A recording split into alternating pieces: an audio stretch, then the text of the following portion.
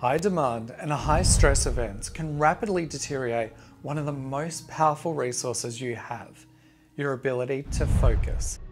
It's also the one resource you must have to secure your finances, career and lifestyle during turbulent times. And with volatility in the marketplace and the hangover our brains are still experiencing from the past few years, it's left many wondering, how do you not just cope, but keep going and flourish in uncertain times?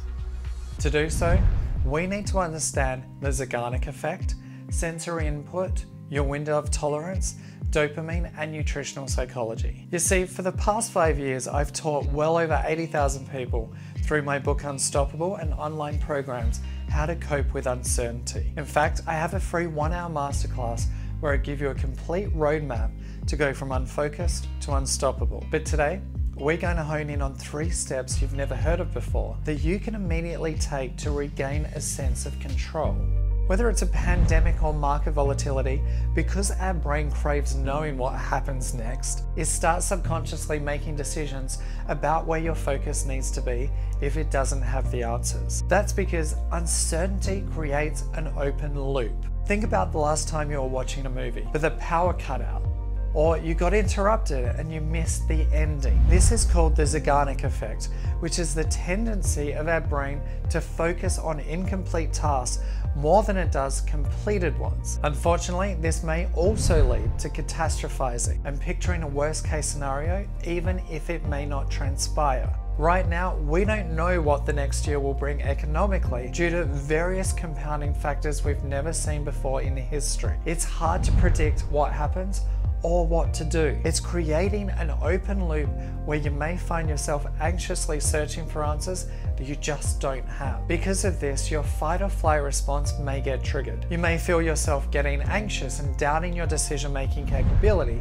which is completely normal. This happens because when you're in a state of fight or flight, your primal brain's sole purpose is focused on survival, not strategy, and definitely not your goals. It's actively pulling your attention away from what you can do and what's in your realm of influence and control. And I'll get to how you can manage it and mentally close this open loop so you can proceed forward with confidence.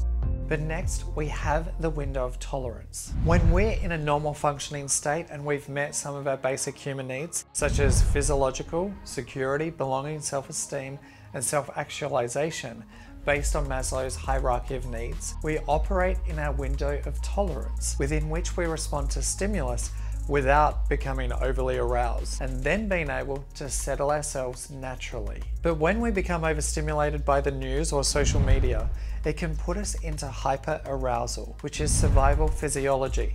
The smallest of things is going to set you off. This is because you're operating outside of your normal range of functioning. Being in hyperarousal for extended periods of time depletes both your biological and physiological resources you need to cope and for your brain to operate at its best. When they run out, you not only burn out, you also drop into hypoarousal. This is where you feel numb and nothing will get you up and going.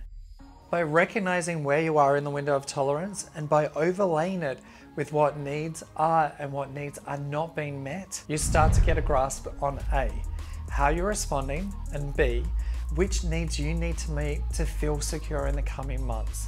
And this helps you to establish a path forward that we'll dive into in just a minute. Which leads us to three, dopamine. When we enter a state of fear, dopamine and adrenaline are two of 30 different hormones in your body that are released. I covered adrenaline in my last video. Dopamine is known as your feel-good hormone and your motivation molecule because it drives us to act and pursue our goals. When you sit down to do a plan to navigate the current circumstances to get ahead of the curve and you're excited about that plan, dopamine will increase. While it may seem counterintuitive, you must manage your dopamine levels during times of uncertainty to help you stay motivated through the tough times. When you're in a low dopamine state due to chronic stress and other factors that I'll get into in a second, you'll feel tired, unmotivated, and unhappy. You'll have trouble concentrating on solutions and instead amplify your problems. I dive into more detail in this area in the free one hour masterclass. But the question is, how do you maintain a level of motivation when you've taken hit after hit and your dopamine baseline has dropped and you're in a state of hypoarousal? And how do you ward off low dopamine levels and burnout so you're prepared for the future? Well, you take these three steps, and the third is the most important. Step one, you manage sensory input. While it's easy to get addicted to the news or market fluctuations, ask yourself, is it giving you your desired outcome, such as helping you to make smart decisions right now based on logic instead of fear?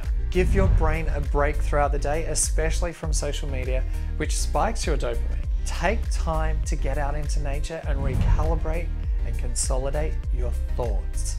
Step two, apply nutritional psychology. Pay attention in the coming weeks to what you eat and how you feel because it's going to affect your ability to focus on what matters most in the coming months. A brain fueling diet can reduce brain fog caused by stress, elevate your mood, promote feel good neurotransmitters like dopamine and serotonin, and sharpen your memory while simultaneously improving your productivity levels. While a diet with highly processed foods, excess caffeine and carbohydrates will amplify your emotions through the ups and downs, making them unbearable and making you ineffective. Step 3. Close the open loop. While it's impossible to predict what happens next, mentally rehearsing your intended outcomes will help to close the loop your brain has created due to uncertainty. It will also close the gap between sitting in a state of inertia and not knowing what to do, and getting up, doing your research, upskilling in your profession, or stabilizing your business so you have what you need to ride the wave. Think of it like this have you ever wondered why some people become bridezillas before their wedding? Brock's mom's a little bit jealous about me marrying her son because she thinks that I'm taking over Brock's whole entire life. I'm not worried about it. She'll be dead and long gone soon enough. Other than external pressure for everything to go to plan, it's because they can't see past their wedding day. It's as if life ceases to exist if it doesn't go to plan. By visually rehearsing what you need to do in the coming months and concentrating on what you have to do regardless of what happens, you'll more effectively manage your stress and emotional responses and regain your sense of control and focus. And the great news is, if it's not as bad as it's expected, you'll be 10 times better off anyway. But now is the time to act. Click the link to join the free one hour masterclass where I'll show you how to go from unfocused, unmotivated, and undriven to unstoppable. So you have everything you need to make this your best year yet.